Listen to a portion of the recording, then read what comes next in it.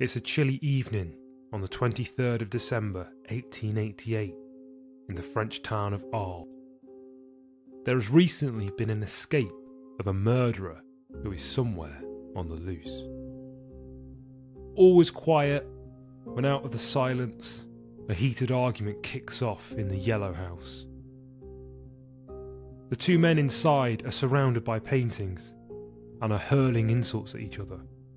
One is a scrawny, scraggly dressed red headed man, the other is well dressed with a prominent nose and moustache.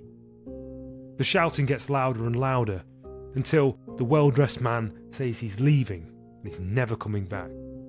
He slammed the door behind him and escaped into the quiet of the night. Not long after, the red headed man runs out of the house